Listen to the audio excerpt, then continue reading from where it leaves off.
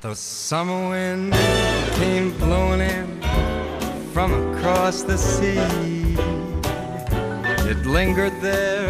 ¿Cómo es posible que un pececito como este sea capaz de combatir problemas de piel tan graves como la psoriasis o la sequedad extrema?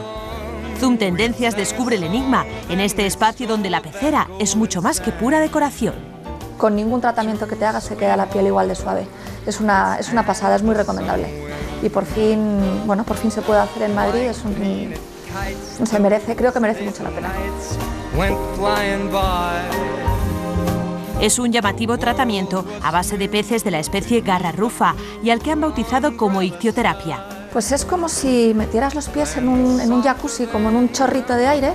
No sé, es divertido, da un poquito de cosquillas al principio, pero, pero no sé, es como, como si te estuvieran dando besitos, pero son tantos a la vez que no, no lo notas. No sé, es como un chorrito de aire. Son unos peces de, de Turquía originalmente, tenemos el certificado de origen también, que lo que hacen estos peces es succionar todas las células muertas de, de nuestro cuerpo, nosotros que tenemos para pedicura.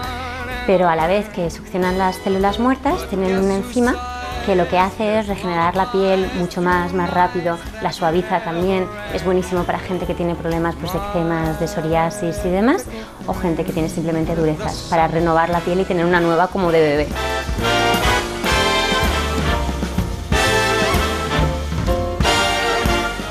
Dicen los expertos que es una auténtica revolución estética y aunque el método se utiliza desde hace años con fines medicinales, solo hace tres que se ha contrastado el éxito en el mundo de la belleza. Estos peces, precisamente como es una forma tan natural de exfoliar, la gente incluso que tiene la piel tan sensible que no se puede exfoliar, con los peces sí que puede. Hay gente, niñas de 3 años, que meten las manos, o sea que no es nada malo. Lo único que sí, que nosotros para, para que haya unas condiciones buenas de higiene, pues no, no ponemos los pies en la pecera a gente que tenga hongos o que tenga pues, algún problema. Estos pequeños anfibios medicinales están protegidos por la ley turca, que permite mantenerlos en peceras como estas.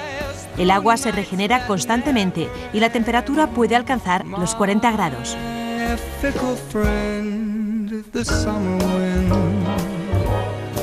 Solo advertiros que hay que tener cuidado con las imitaciones. Por el mercado circulan otro tipo de peces de origen chino que tienen dientes y pueden provocar daños irreparables en la piel.